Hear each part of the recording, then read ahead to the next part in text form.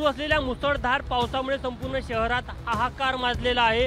नागपूर विमानतळा परिसरातलं हे जर दृश्य बघितलं नागपूर विमानतळ परिसर पूर्णतः जो समोरचा मुख्य द्वार आहे त्या परिसरातले जे दोन्ही रोड आहेत ते पाण्याखाली गेलेले आहेत. त्यामुळे नागपूर विमानतळ परिसरातील जे एंट्री आहे ती वाहनांची बंद झालेली आहे. पोलिसांनी आपण बघू शकतो की इकडे बॅरिकेडिंग केलेलं आहे. कारण की दोन्ही बाजून इतकं पाणी आहे की इथनं आतमध्ये वाहनं जाऊ शकत नाही किंवा एअरपोर्टमधनं जे प्रवासी आहेत ते बाहेर येऊ शकत नाही अशा प्रकारचं चित्र आपल्याला इथे पाहायला मिळत आहे. आणि या वर्धा रोडवरचं जर का तुम्ही हे दृश्य बघितलं तर तुमच्या लक्षात येईल की दूरवरपर्यंत कशा प्रकारे एखाद्या नदीचं पात्र असावं नदीच्या पात्रातला जो पूर आपल्याला पाण्यातला पाहायला मिळतो तशा प्रकारचं चित्र आपल्याला सध्या इथे पाहायला मिळतं त्यावरून तुम्हाला कल्पना येईल की नागपूर शहराला कशा प्रकारे हादरून सोडलेलं आहे या पावसाने.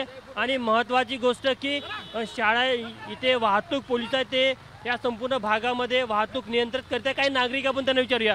इतकी गंभीर परिस्थिती याआधी कधी बघितली तुम्ही? काय कारण वाटतं तुम्हाला याला? या अगोदर सुद्धा गंभीर परिस्थिती अशीच झालेली आहे. नागपूर महानगरपालिका कुठे काम करत नाही आहे. हे जे तुम्ही नदीचं स्वरूप पाहत आहे हे नागपूर शहरामध्ये जागोजागी प्रतापनगर स्वावलंबीनगर नरेंद्रनगर सगळ्या भागात आहे. प्रशासन काय करत आहे? झोपलेले आहे का? विधान आपला उपमुख्यमंत्री देवेंद्र फडणवीस साहेब यांची ही विधानसभा आहे. या विधानसभेमधलं तुम्ही चित्र पहा. सोनेगाव पोलीस स्टेशनमध्ये सुद्धा पाणी गेलेलं आहे. लोकांच्या घराघरात पाणी गेलेलं आहे. फक्त रस्ते बांधणे सिमेंट रोड बांधल्याने नागपूर स्वच्छ सुंदर शहर बनत नाही. प्रशासन बघू शकतो की नागरिकांचा संताप आपल्याला इथे पाहायला मिळत आहे आणि एकंदरीत ज्या प्रकारचं चित्र सध्या नागपूरमध्ये आहे मुसळधार पाऊस सुरू आहे. त्यामुळे निश्चितच नागपूरमध्ये या पावसाने दानादान उडून दिलेली आहे. प्रशासनाची पोलखोल केल्याचं पाहायला मिळत आहे.